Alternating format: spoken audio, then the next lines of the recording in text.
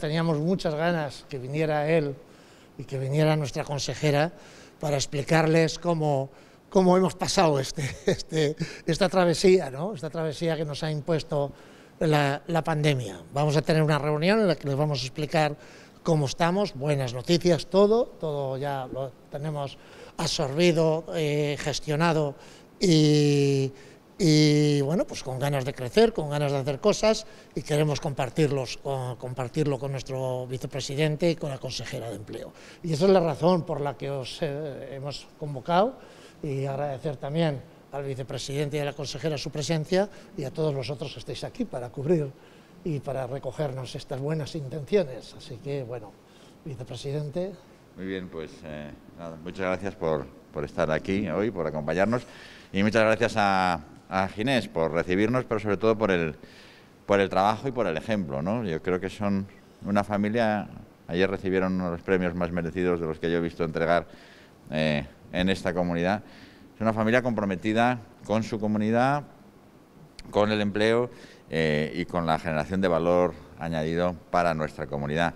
Y el ejemplo de que, de que todo es posible cuando se tiene compromiso, esfuerzo, capacidad y generosidad, ¿no? la generosidad que siempre ha demostrado eh, Ginés y, la familia y, y Aciturri. Eh, mucha gente igual no lo sabe que esto empezó en un taller, ayer lo contaba él en su, la entrega del premio, y es el ejemplo de lo, que, de lo que nosotros queremos para nuestra comunidad. Queremos facilitar las cosas para que la gente llegue tan lejos como le permita su entendimiento, su inteligencia y su capacidad de trabajo. Eso es prosperidad, eso es eh, liberalismo, eh, eso es una comunidad emprendedora, que es lo que somos.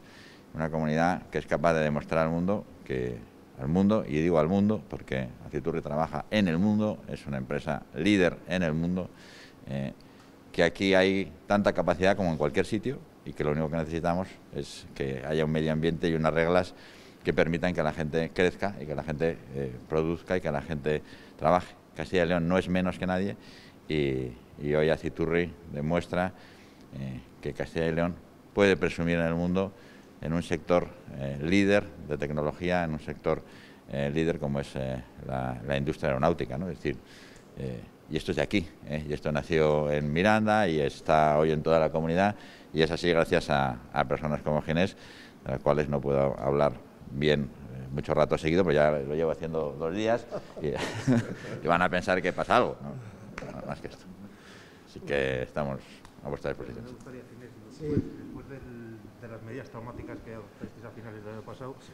me gustaría saber cómo está ahora mismo Aciturri, qué planes de futuro tiene, cuándo va a recuperar el empleo y las capacidades de producción y qué planes tenéis para, para afrontar esta nueva etapa. Sí, nuestras, nuestra, nosotros como siempre hacemos tres, tres escenarios, el peor, el mejor y el medio.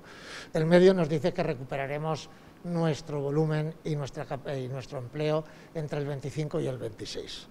Y, bueno, y también las oportunidades que surgen de esta situación, pues nos hace también diversificarnos. Estamos apostando por participar en otros proyectos, tanto, de, tanto del sector aeronáutico como de otros sectores donde podamos aplicar la tecnología y el conocimiento que durante estos años se han, se han arreglado. Pero vamos, el, el caso medio que puede mejorar, estaríamos hablando del año 25 al año 26. Si los, eh, van a utilizar los fondos europeos, ¿tienen algún proyecto? Sí. Sí, aunque, aunque, le haga la pregunta... Sí, sí, me gustaría el aprovechamiento no, de los fondos europeos. No es descortesía. Sí, no sé si van a optar a estos fondos europeos dentro de un sector estratégico como es el aeronáutico. Vamos a, vamos a optar a, todos, a todas las líneas que podamos optar. Nosotros no somos, no somos empresa muy acostumbrada a vivir de, de, las subvenciones, ni mucho menos. O sea, creemos, y además porque creemos firmemente, que las empresas tienen que apostar y tienen que ser generadoras de, de, de valor y, y, tienen que apostar y hacer sus inversiones. No obstante, evidentemente, que vamos a utilizar todas las líneas que estén a nuestro alcance para acelerar esos cambios tecnológicos que necesitamos para garantizar que la empresa es sostenible en el largo plazo y que no pierde capacidad competitiva. Pero dentro de estos escenarios, hoy precisamente el sector aeronáutico está reaccionando en toda Europa, todo el mundo, a las últimas noticias y restricciones que propone la Unión Europea sobre eh, vuelos y, y se notaba sobre todo en este sector, todas las empresas vinculadas a este sector eh, caían en, en bolsa. ¿no? Todo ese tipo de... El escenario es muy, muy, muy, muy cambiante. Sí, pero vamos, nosotros tenemos un proyecto a medio largo plazo. La bolsa es algo que es inmediato por ser especulativo. Nosotros no tenemos un proyecto especulativo, tenemos un proyecto industrial, un proyecto de generación de valor y estamos mirando a medio y largo plazo. Yo estoy absolutamente seguro que la humanidad no va a, volver a, viajar en burro, o sea, tendremos que seguir viajando en avión, que cambiarán las cosas, que evidentemente el crecimiento será menor, que tendremos restricciones, que a ver si ya dominamos de una vez la, pandemia y cuando todo esté en su línea, pues volveremos a viajar, se volverá a utilizar los aviones, eh, evidentemente tenemos que evolucionar tecnológicamente para ser respetuosos con el medio ambiente, tenemos que estar, pero nuestra apuesta es, nuestra apuesta es a medio y a largo plazo, no nos, no nos afecta, hombre, no nos gustan las malas noticias, pero no nos afecta para nada los vaivenes de un mercado especulativo. Pero sí al sanitario, los vaivenes eh, de noticias eh, pueden acelerar algún tipo de decisiones, eh, de hecho plantean eso, restringir movimientos dentro de la Unión Europea, ya algunos países lo han tomado, no sé, si, se valoran... Algo nos ha pasado últimamente porque yo me he vuelto optimista, me he empeñado en ser optimista. Estamos viendo, en fin, la, pandemia en Europa ha alcanzado picos muy importantes, sobre todo en Austria, en Holanda, en países con tasas de vacunación muy bajas. Eh, yo todas las mañanas miro cómo va la evolución en, Europa. Parece que se ha alcanzado el pico. Vamos a ver qué pasa en las próximas 48, 72 horas en los países en los que más está afectando, básicamente Austria, Países Bajos y Bélgica. y en esos países nosotros lo hemos estado siguiendo durante todas estas semanas, por eso nuestra opinión sobre el pasaporte, por ejemplo, y sobre otras medidas, eh, igual es la primera vez que parecemos indecisos o que no, es que no parece que haya funcionado de manera suficientemente efectiva. Por tanto, lo que estamos viendo es que nuestro país vacunado está subiendo, estamos en una ola, ayer lo contaba la consejera, nuestra incidencia eh, no va a alcanzar esos picos, no parece que vaya a alcanzar esos picos y nuestra saturación hospitalaria no parece que vaya a sufrir. Eso no quiere decir que dejamos, digamos a la gente eh, todo es posible, mantengamos una actividad prudente, restringida, mantengamos la mascarilla, mantengamos la distancia, pero no me gustaría, eh, hemos pasado muy mal y la pandemia, todas las pandemias en la historia de la humanidad tienen un límite, se acaban, se acaban pasando y, hay que ser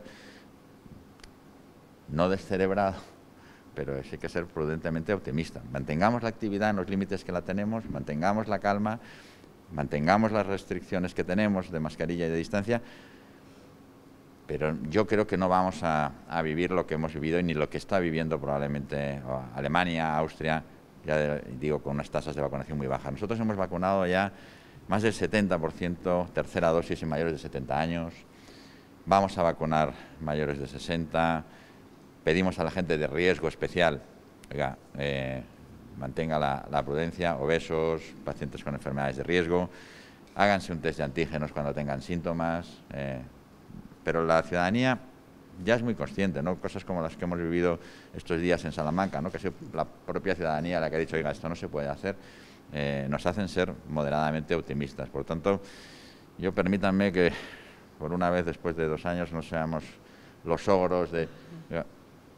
Mantengamos donde estamos, mantengamos la calma, nosotros iremos diciendo nada está descartado, ningún escenario está descartado, eh, ni el de volver a poner restricciones, pero digámosle a la gente, mantén la mascarilla, mantén la distancia, mantén la actividad que tienes, vamos a vivir una ola, estamos viviendo una ola, esperamos eh, que no nos genere problemas de saturación y, seamos moderadamente prudentes esta vez. Pero, por ejemplo, entonces el mensaje de Portugal, eh, anunciando hoy que después de que, las medidas van a ser a partir de enero, eh, parece una, estrategia completamente distinta. el escenario de Portugal, ahora mismo las cifras de Portugal eh, son buenas porque es el único país que creo que nos ha superado en vacunación en toda Europa tiene una vacunación como, como, la nuestra. Las cifras de incidencia en Portugal están siendo muy similares a las nuestras ¿eh? y probablemente nosotros vamos a vivir un escenario muy parecido al que se viva en Portugal. Pero, insisto, yo creo que la ola que estamos teniendo ahora, eh, va a acabar antes de, la Navidad. Es posible que después de Navidad tengamos otra ola como nos pasó, como nos pasa siempre que hay mucha, mucho movimiento y mucha, mucha interacción.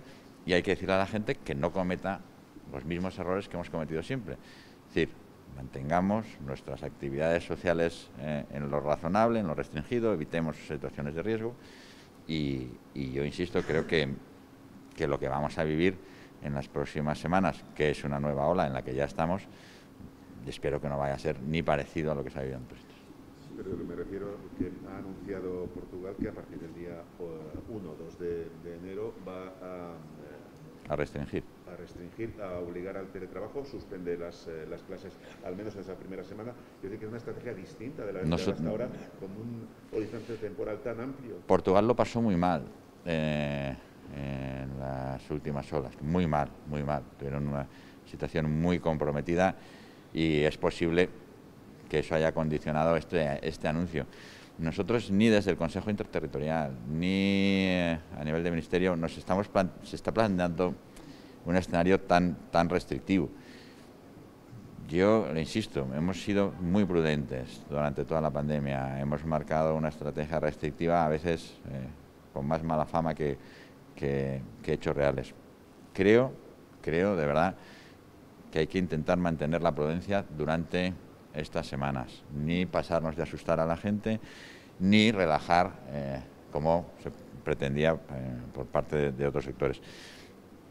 Espero eh, que no estemos equivocados, pero también seguimos a los números como hemos hecho durante toda la pandemia, vamos viendo cómo va evolucionando. Insisto, cada día miramos no nuestros números, sino los números de los demás que nos anticipan un poco lo que va a suceder. Y lo que estamos viendo es una reacción distinta, una curva distinta, eh, con una pendiente también distinta, y yo creo que vamos a poder, eh, si mantenemos nuestra campaña de vacunación, si la gente acaba de vacunarse, si mantenemos las terceras dosis, si protegemos a nuestros, a nuestros mayores, vamos a poder mantener este nivel de actividad. No más, no podemos ir a unas navidades estándar, no podemos ir a hacer cosas multitudinarias, tenemos que decir a la gente que mantenga la prudencia y sobre todo decir a la gente que tiene que participar con responsabilidad, que cuando tiene síntomas se tiene que hacer un test de antígenos y quedarse en su casa si, si es positivo, que hay muchas cosas que ya nos permiten manejar la pandemia de otra manera y que todos tenemos que colaborar. Es decir, es muy importante esto que decimos sobre los test de antígenos. Los test de antígenos eh, en farmacia nos han permitido a todos tomar medidas con antelación. Yo ya no sé cuántos me habré hecho, pero unos cuantos. ¿eh? ¿Por qué? Porque tienes síntomas, te haces un test antígenos, oye, si es positivo, quédate en casa y eso va a ayudar a que la, ola se maneje de una manera diferente. Vamos a tener otra cosa que no tuvimos el año pasado, que eso también tenemos que ver cómo, impacta, porque el año pasado ni tuvimos gripes, ni tuvimos virus incitiales, ni tenemos, tuvimos infecciones respiratorias, eh, y este año es muy probable que las vayamos a tener y que eso también eh, condicione nuestra saturación hospitalaria. Pero, pero insisto, prudencia, distancia, aforos limitados, eh, sentido común, test de antígenos y vamos a esperar. Yo no, no me gustaría... La población está muy cansada, todos estamos muy cansados ya, eh, y, creo que hay que ser serios, prudentes, eh, y ni nocheviejas universitarias, ni terror eh, generalizado. Sí, sobre otro asunto, ayer el portavoz de PP advirtió de que no pensaba entrar en un mercado persa por la negociación de las enmiendas. No sé qué tal se maneja usted en este idioma. En persa, fatal. y si piensa que pueden callarse, callarse en las negociaciones. No, pero esto es, una negociación. Es una negociación de unos presupuestos y las negociaciones de los presupuestos tienen sus reglas. Eh, y la política tiene, tiene su escenografía. Nosotros estamos trabajando, eh, trabajando con seriedad. Y yo creo que todos, todos los actores políticos que, participan en la negociación de los presupuestos tienen que tener clara una cosa, que es que lo más importante para, la comunidad, para los ciudadanos, eh, y lo que nos piden nuestros empresarios y lo que nos piden nuestros es estabilidad, proyectos a largo y no estar siempre metidos en un ciclo de corto plazo de interés eh, partidista. Necesitamos que la política española haga política a largo plazo, que las legislaturas se acaben, que los proyectos finalicen, que las ayudas lleguen y no se encuentren en equipos nuevos cada seis eh, semanas eh, negociando eh, las subvenciones. O, es decir, eso sería un despropósito. Sería un despropósito una comunidad en la que además el empleo crece, crece a gran velocidad, como no ha crecido nunca. Tenemos unas tasas de paro del 10%, una, una caída del paro en la comunidad a un ritmo muy importante, una actividad que está tomando buen ritmo, con sus nubarrones grandes en el horizonte, y por tanto, los ciudadanos no entenderían que estuviéramos otra vez a nuestras cosas. ¿eh? Es que tenemos que estar a las cosas de los ciudadanos, no a nuestras cosas. ¿eh? Entonces, ninguno de los partidos de esta comunidad eh, puede olvidar lo que piensan los ciudadanos. Ocupémonos de darles unos presupuestos buenos, que continúen esta senda de reforma y de eh, incremento de la actividad y dejémonos de nuestras cosas. No hay mercados persas, ¿eh? hay partidos que tienen sus legítimas reivindicaciones, provincias que tienen sus inquietudes y nosotros lo que tenemos que hacer es ser capaces de hacer política de mayores, de gente responsable, de adultos, salir de este circo permanente, con rigor, con seriedad, ¿eh? y, y eso es en lo que estamos todos y estoy seguro que todos los partidos que sujetan la acción de gobierno y los que negocian los presupuestos lo van a tener en cuenta.